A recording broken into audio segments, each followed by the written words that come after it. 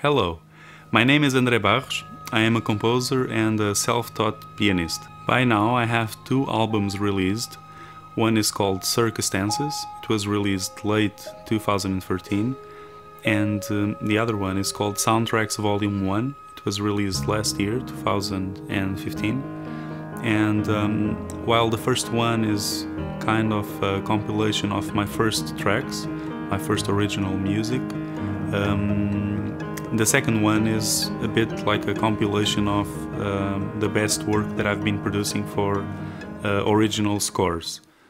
Ever since 2014, I've been working a lot on composing original scores for all sorts of films, uh, short and uh, long films, and documentaries and fiction.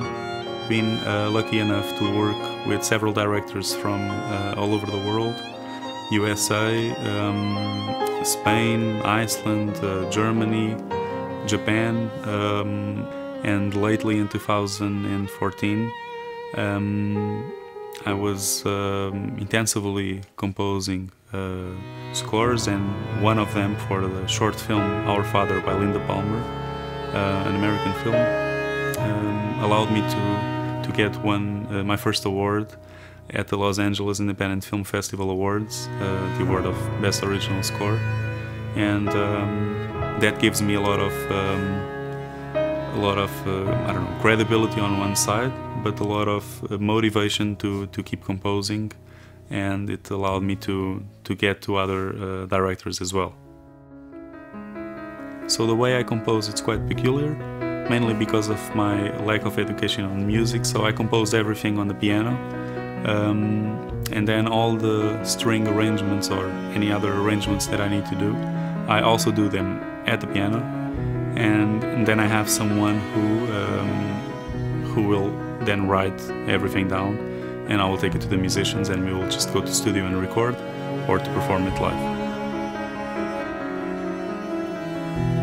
On my third album that I'm about to release uh, this upcoming month, I'm I'm featuring Myrra Rós. She is a, a singer-songwriter from Iceland with a unique and beautiful voice.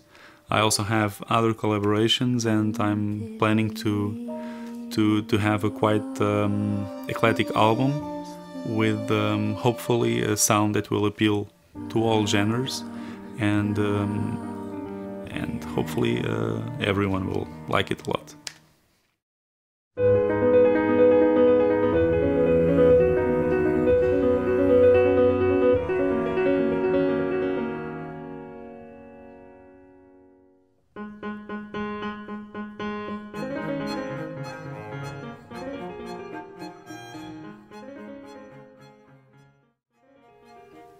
Although my path in music it's uh, quite recent i've only started playing piano at around seven or eight years ago but i've been as i said producing a lot of work for other countries.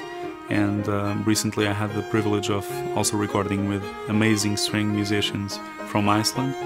I was recording in the Sundlaugin studio founded by the famous band sigur rós from iceland. I just i'm, I'm overwhelmed with the result and uh, it would be a huge privilege to to get uh, my music shown to a wider um, audience.